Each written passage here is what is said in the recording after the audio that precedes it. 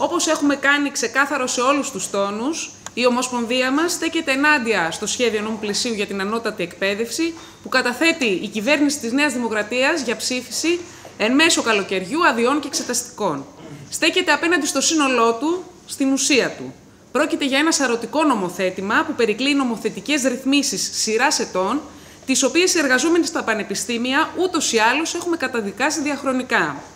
Το συγκεκριμένο νομοσχέδιο έρχεται να ολοκληρώσει τη μετατροπή των πανεπιστημίων σε αυτόνομες επιχειρηματικές μονάδες, χτυπάει περαιτέρω τα μορφωτικά δικαιώματα των φοιτητών, αλλά και την προοπτική των αποφύτων για δουλειά με δικαιώματα επάνω στο κάθε επιστημονικό αντικείμενο.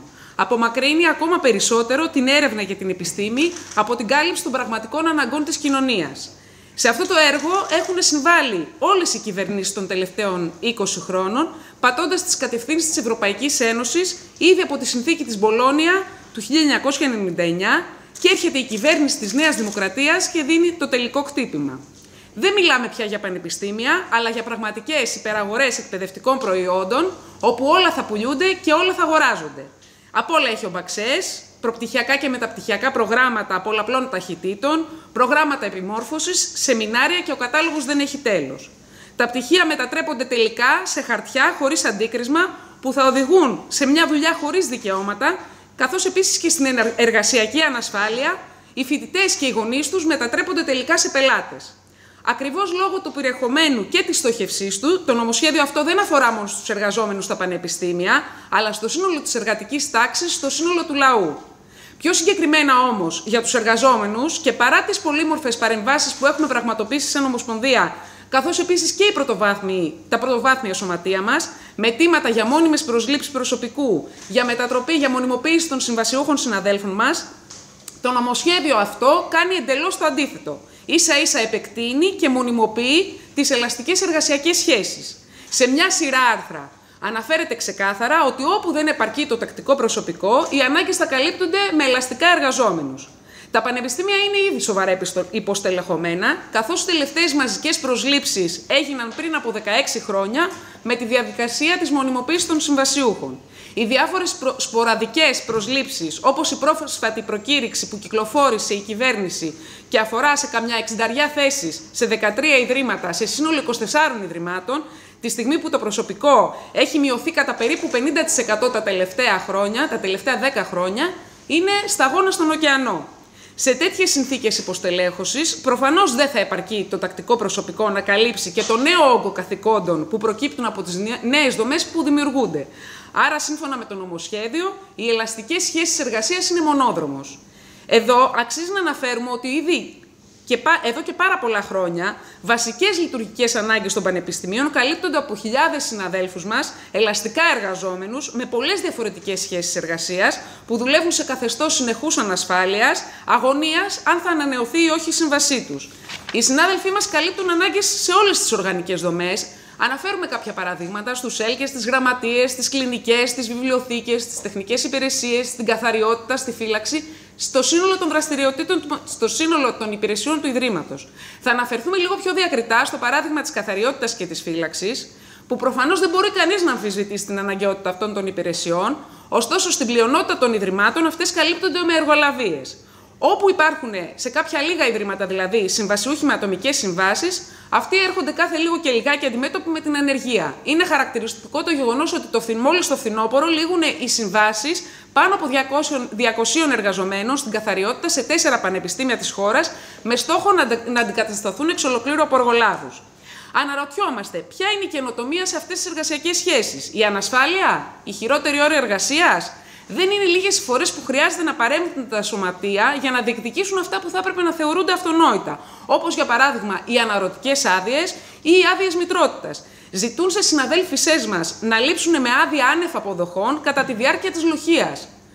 Επιπρόσθετα, στο εν λόγω νομοσχέδιο μπαίνει και επιπλέον όρος για αυτούς τους εργαζόμενους, για τους περισσότερους συμβασίουχους, να απολύονται μετά από το πολύ πέντε χρόνια, χωρίς να έχουν τη δυνατότητα, χωρίς να πρέπει να έχουν καμία απέτηση να μονιμοποιηθούν. Μιλάμε δηλαδή για ανακύκλωση της ανεργίας και με τη βούλα. Για τους ίδιους εργαζόμενους θεσμοθετείται η υπεροριακή απασχόληση, η δουλειά Σαββατοκύριακα και αργίες. Δυστυχώς, τελικά, αυτό που βλέπουμε όλα τα τελευταία χρόνια είναι οι ελαστικές σχέσεις εργασίας να αποκτούν μόνιμα χαρακτηριστικά και στα πανεπιστήμια, παρά τις προεκλογικές διακηρύξεις και, δεσ, και δεσμεύσεις όσων κυβέρνησαν. Ε, όσον αφορά τώρα στην ε, χρηματοδότηση, μάλλον συνεχίζοντας για τους εργαζόμενους, την ίδια στιγμή και ενώ λεφτά που για μόνιμες προσλήψεις μας λένε ότι δεν υπάρχουν, θεσμοθετείται η θέση του εκτελεστικού διευθυντή, ο οποίος Όπως με τα στοιχεία που δίνουν οι ίδιοι, θα έχει συνολικό κόστος για τα πανεπιστήμια περίπου 1 εκατομμύριο ευρώ το χρόνο.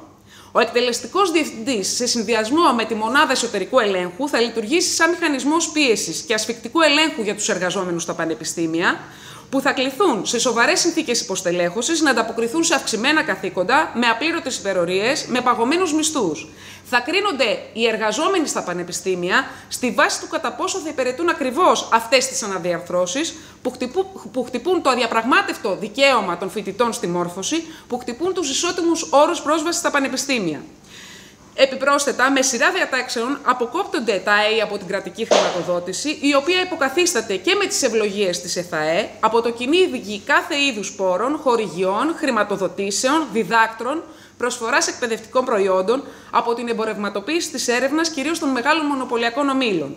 Αυτές τις αλλαγές έρχεται να υπηρετήσει και το αντιδημοκρατικό μοντέλο διοίκησης που προβλέπει το νομοσχέδιο, με συμβούλια διοίκησης που μέλη τους μπορεί να είναι κάλλιστα και απευθείας άνθρωποι της αγοράς, οι οποίοι θα προσλαμβάνουν ή θα πάβουν τον Πρίτανη, τους αντιπριτάνη, τους κοσμήτορε κτλ.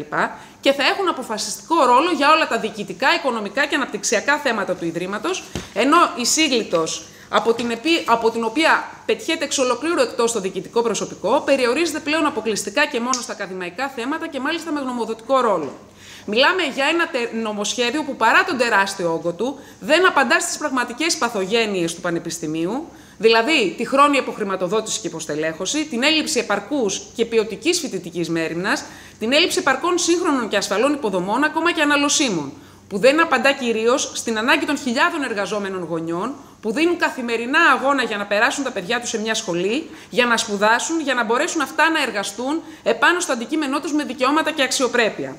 Το νομοσχέδιο τελικά δεν ανταποκρίνεται στις ανάγκες της μεγάλης πλειοψηφίας του λαού. Τους μόνους που ωφελεί είναι τις μεγάλες επιχειρήσεις που θα κάνουν χρυσές business στην ανώτατη εκπαίδευση, αξιοποιώντας υποδομές και προσωπικό των πανεπιστημίων. Για να τρέξουν αυτές τις business απρόσκοπτα, φέρνει η κυβέρνηση και την πανεπιστημιακή αστυνομία, θεσπίζει πιο αυστηρό πειθαρχικό δίκαιο και μηχανισμούς ελέγχους για του φοιτητές, εργαζόμενους και διδάσκοντες, υπονομεύει τους φοιτητικούς συλλόγους. Η εμπειρία μας επιβεβαιώνει, όπως και με την εφαρμογή του νόμου εκτρώματος του Χατζηδάκη, ότι πάντοτε η αντιλαϊκή πολιτική έχει συμπλήρωμά της τα μέτρα αυταρχισμού και καταστολής.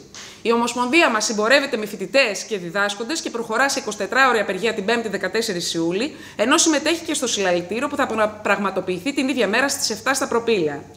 Εμείς λέμε ότι τα σχέδιά τους δεν θα περάσουν. Ο νόμος πλαίσιο, ακόμα και ψηφιστεί, θα μείνει στα χαρτιά. Οι εργαζόμενοι, οι φοιτητές, ο λαός ξέρουν τον τρόπο. Τώρα χρειάζεται να δυναμώσει ο αγώνας για, για το πανεπιστήμιο που έχουμε εμείς ανάγκη, οι φοιτητές και οι εργαζόμενοι, που έχει ανάγκη ο λαός, για πτυχία με αξία που θα οδηγούν σε δουλειά με δικαιώματα, για ουσιαστική αναβάθμιση των σπουδών με βάση την εξέλιξη της επιστήμης, για ενίσχυση της φοιτητικής μέρημνας κόντρα στην εμπορευματοποίησή της, για μόνιμη και σταθερή δουλειά για όλους, για όλες τις κατηγορίες προσωπικού, για επιστήμη και έρευνα για τις πραγματικές ανάγκες της πλειοψηφίας της κοινωνίας.